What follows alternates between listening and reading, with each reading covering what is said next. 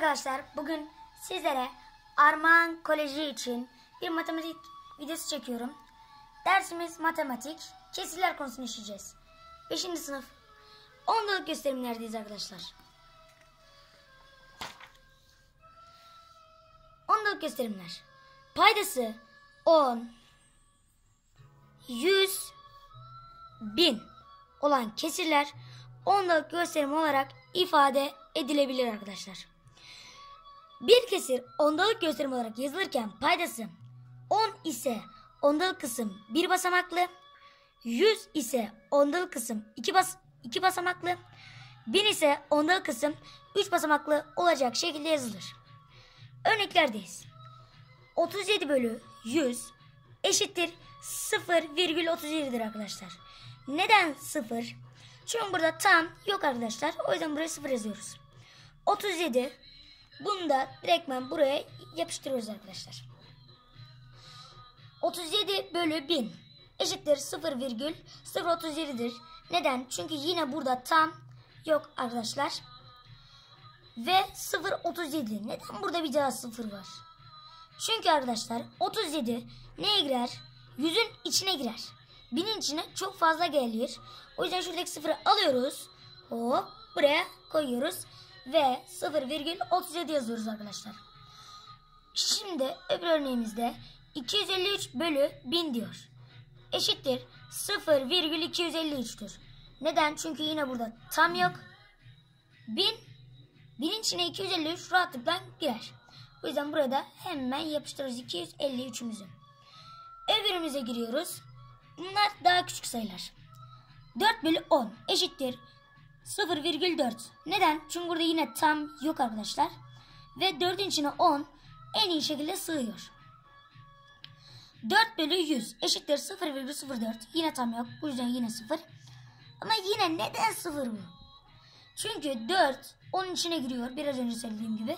Ve buradaki 0'ı hop geliyoruz. Buraya koyuyoruz arkadaşlar. 4 bölü 1000 eşittir 0,004'tür. Neden? Çünkü 4 yine onun içine giriyor arkadaşlar. Bu yüzden bu sıfırı buraya, bu sıfırı da buraya koyuyoruz. Ve bunu da bildiğimiz gibi buraya hemen koyuyoruz. Öbüründe ise 2 tam 3 bölü 10 eşittir 2,3. Neden? Şimdi bunda tam çıktı ya. O yüzden bunu buraya koyuyoruz. 3. O 3 onun içine en güzel sığacak olan rakam. Bu yüzden 3'ü hop buraya koyuyoruz. Ve 2,3 çıkıyor. Öbüründe 2 tam 3 bölü 100 eşittir 2,03'tür.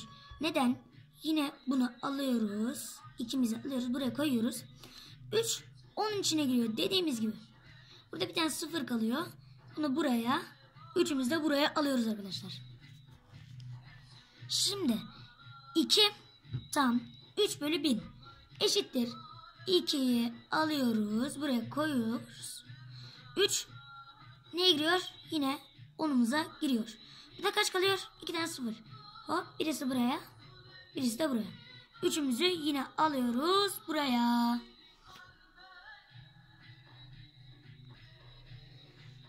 Ondalık kesimleri, ondalık kesirleri, onda, ondalık kesirleri, para birimlerini de ondalık gösterim olarak yazabiliriz. Para 50 kuruş, ondalık gösterim olarak 0,50 lira. Arkadaşlar neden? Çünkü yani e, nasıl anlatsam burada 1 lira yok ya. O yüzden buraya 0,50 lira yazıyoruz arkadaşlar. 25 kuruşu da 0,25 lira yazıyoruz arkadaşlar. 10 kuruş 0,10 lira. 5 kuruş 0,05 lira. Neden? Çünkü e, sıfırın nedeni 100 kuruş 1 lira yapıyor ya. 100 kuruş e, bunu 10 içine sığdırabiliyoruz. Oradan bir tane sıfır kalıyor. Onu da direktmen hop tam olarak buraya yapıştırıyoruz. Öbüründe 1 kuruş 0,01 lira. Nedenini biraz önce açıkladığım gibi 100, 1 onun içine onun içine giriyor. Fakat yüzün içine giremediği için öyle olmuyor ve sıfırı buraya yapıştırıyoruz arkadaşlar. Şimdi örneklerdeyiz. 25 lira 5 kuruş eşittir kaç eder diye soracak olursak 25,05 lira yapar. Neden diye soracak olursanız arkadaşlar 25 liraya bu bunu 25 tam olarak düşünelim. Buraya yapıştırıyoruz. 5 kuruş bu 100 kuruşun içine giriyor ya arkadaşlar. Ve bir tane sıfır kalıyor. Onu da buraya sıfırı da 100 kuruşun içine alıyoruz ve buraya koyuyoruz arkadaşlar. Şimdi 7 lira 25 kuruşu. Şöyle yapacağız. Eşittir 7,25 lira. Neden? Çünkü burada 7 lira tam kısma girer. Ama neden bunda sıf sıfır yazmadık? Neden arkadaşlar? Çünkü 1 lira 100 kuruş olduğu için bunu biz 25 kuruşu 100 liraya yuvarlayabiliriz. Ama 10 kuruşa yuvarlayamayız. Neden? Çünkü kendinden alçakta bir sırı sayı. Ve bunu da buraya koyuyoruz ve 7,25 lira olarak yazıyoruz. 13 lira 50 kuruş. Bunu 13,5 lira diye yazıyoruz. 13'ü yine buraya koyuyoruz. 50 kuruşu da buraya yazıyoruz arkadaşlar. Şimdi bir sonraki sayfamızda ise uyguluyorum çözeceğiz. Burada sorular çözeceğiz arkadaşlar. Şimdi verilen kesirleri onları sayı haline getireceğiz. Şimdi arkadaşlar 3 bölü 100 eşittir. Arkadaşlar 0 diye bize bir ipucu vermiş. Yani burada tam yok arkadaşlar. Şimdi 3 ne içine giriyordu? 10'un. O zaman burada ne var? Bir tane 0 ne yapıyoruz? Buraya 0 yazıyoruz. Değil mi? Sonra buradaki 3'ü alıyoruz. Hop buraya yazıyoruz. Cevabımız 0,03 olur arkadaşlar. İkinci sorumuz. 4 bölü 1000 eşittir. Yine tam yok. Bize bir ipucu vermiş. 4 10 içine giriyor. Burada kalıyor. 2 tane 0. Bir tanesini hop buraya 0. Bir tanesini hop buraya 0. Ve bunu da alıyoruz. Buraya koyuyoruz. Cevabımız 0,004 oluyor arkadaşlar. Öbüründe ise 72 bölü 100 eşittir 0. Yani yine tamımız yok arkadaşlar. Şöyle yazıyoruz arkadaşlar.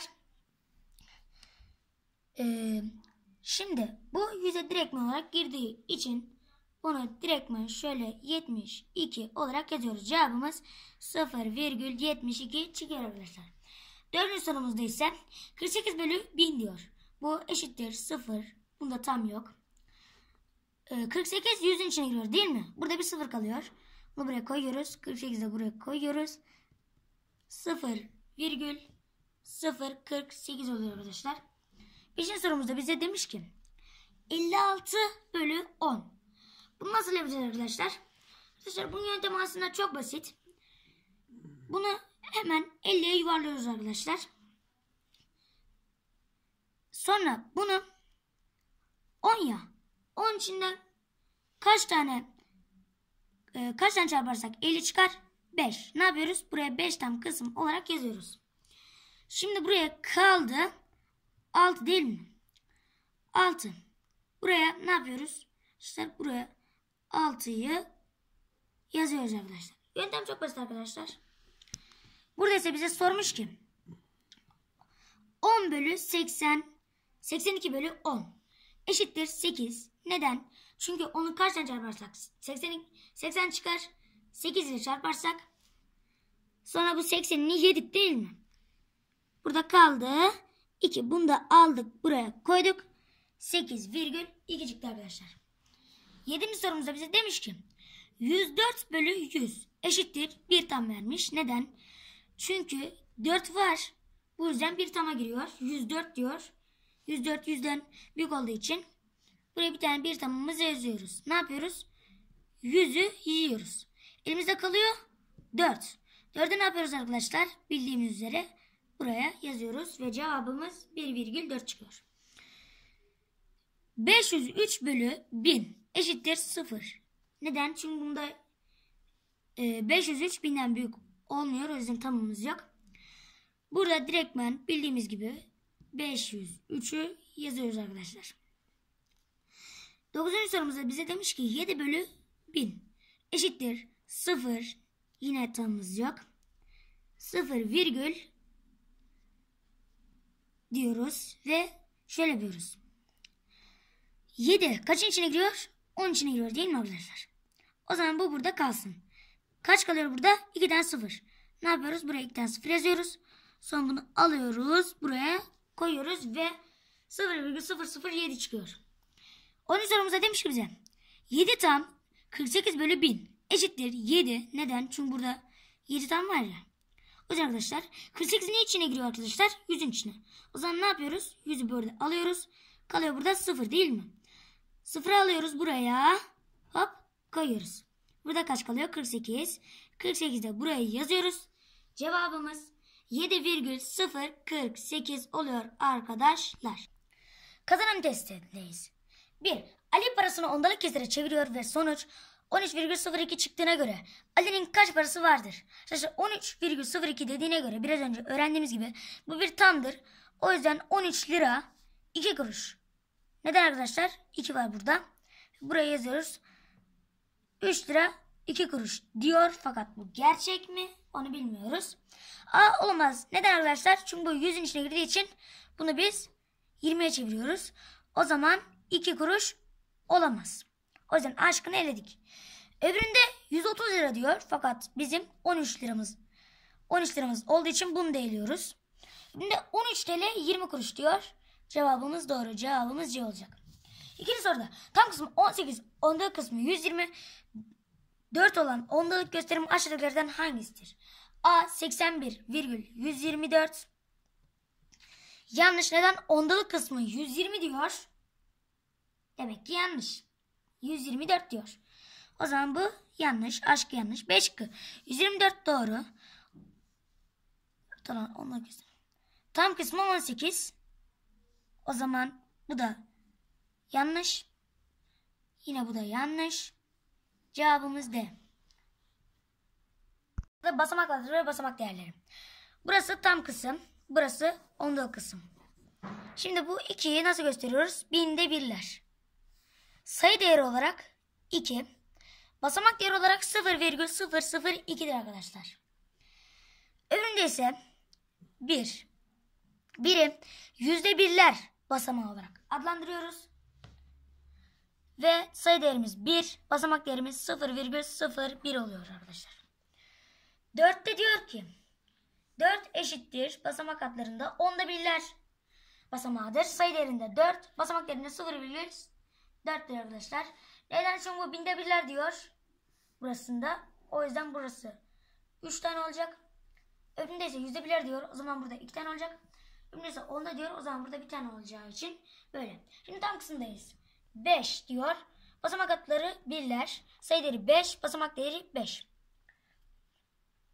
Öbüründe ise tam kısımda 4 eşittir. Yüzler basamağı. Sayı değeri 4. Basamak değeri 40'tır. Öbüründe 3 binler basamağında olur.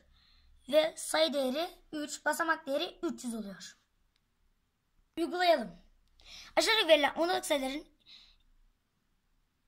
aşağıda verilen ondalık sayıları e, basamaklarını yazınız.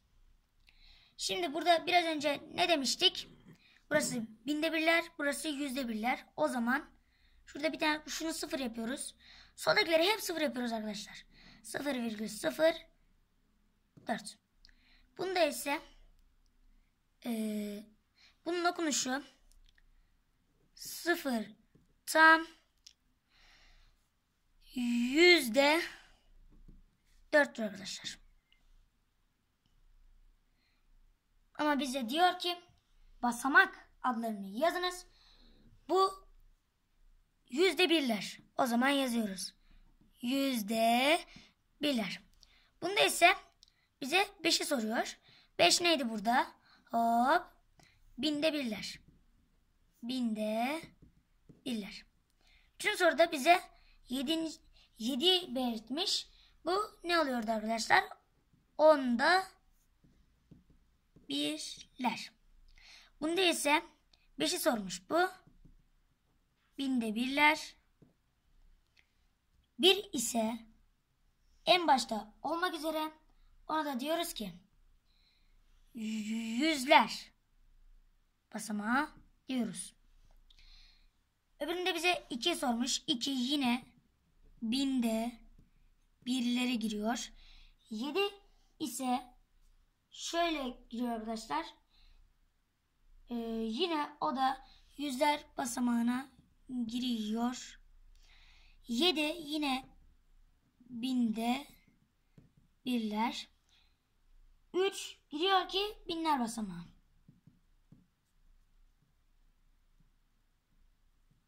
Sonra 7 sormuş bize. 7 öğrenmiştik. Onda birler. 6 soruyor bize. Bu yüzde birler. Bunu soruyor. Yani 2 bunun cevabı yüzler basamağı oluyor.